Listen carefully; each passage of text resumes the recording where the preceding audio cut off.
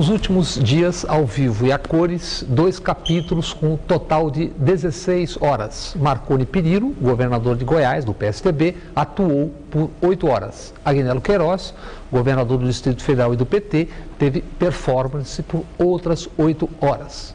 Perillo e Agnello são tarimbados. Perillo recebeu palmas no auditório da novela Cachoeira Demóstenes. Perillo levou apoiadores, mas a parte sua claque foi saudado inclusive por oposicionistas pela aspas, grande atuação, fecha aspas. Frio, bem articulado, espertíssimo, Perillo teve diante de si uma plateia de deputados e senadores, em sua maioria claramente despreparados para o papel de investigadores, mas todos atentos às câmeras e microfones. Perillo respondeu ou deu a impressão de responder a tudo. Explicou, inclusive, algo que parece inexplicável, como um governador nomeia para cargos de direção nas suas polícias, no Detran e no gabinete, três dezenas de auxiliares que, segundo a Polícia Federal, serviam ao bicheiro Cachoeira e ao senador e ator Demóstenes Torres.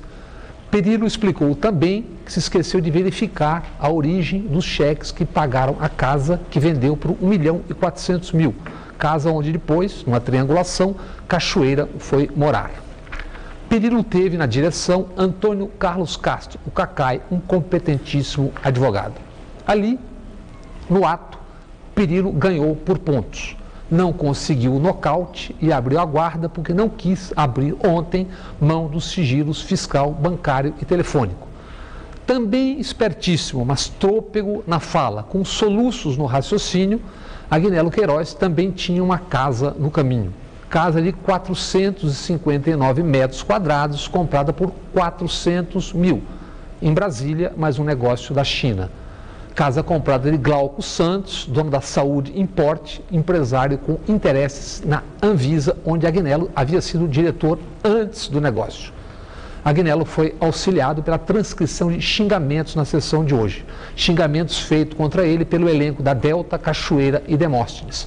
Aplaudido também Agnello pareceu explicar tudo. Mas o deputado Miro Teixeira, dos raros ali que sabe o que e como fazer, lembrou. Por enquanto são só palavras. O que vale para ambos são as provas técnicas, conseguidas, por exemplo, com a quebra de sigilos. Com menos técnica na atuação, Agnello saltou à frente de Perillo ao abrir seus sigilos logo de saída Perillo mandou dizer que também abre os seus, tardiamente, porque então já se sabia que a CPI voltará amanhã pela quebra do sigilo de ambos. Tudo isso, talvez, para nada.